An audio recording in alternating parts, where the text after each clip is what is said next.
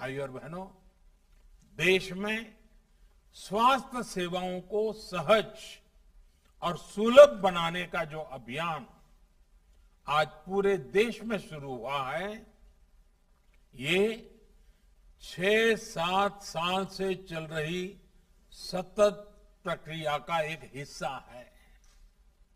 बीते वर्षों में भारत ने देश में आरोग्य से जुड़ी दशकों की सोच और अप्रोच में बदलाव किया है। अब भारत में एक ऐसे हेल्थ मॉडल पर काम जारी है जो होलिस्टिक हो, समावेशी हो।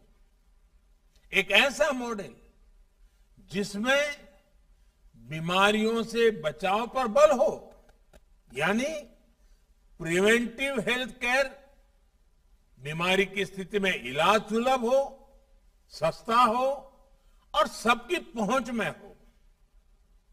योग और आयुर्वेद जैसी आयुष की हमारी पारंपरिक चिकित्सा पद्धति पर बल हो, ऐसे सभी प्रोग्राम गरीब और मध्यम वर्ग को बीमारी के कुचक्र से बचाने के लिए शुरू किए गए।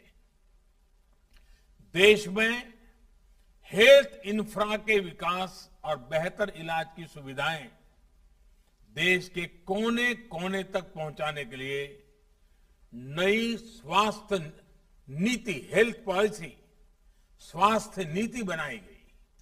आज देश में एम्स जैसे बहुत बड़े और आधुनिक स्वास्थ्य संस्थानों का नेटवर्क भी तैयार किया जा रहा है।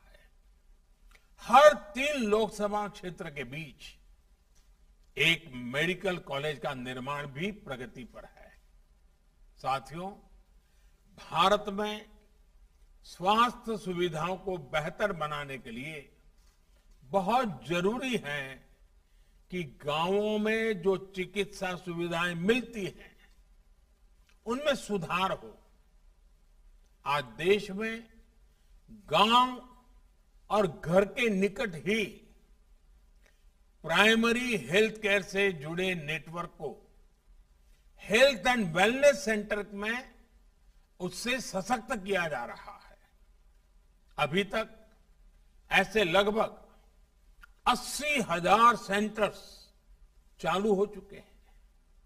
ये सेंटर्स रूटीन चेकअप और टीकाकरण से लेकर गंभीर बीमारियों की शुरुआती जाँच और अनेक प्रकार के टेस्ट की सुविधाओं से लेस हैं। कोशिश ये है कि इन सेंटर्स के माध्यम से जागरूकता बढ़े और समय रहते गंभीर बीमारियों का पता चल सके।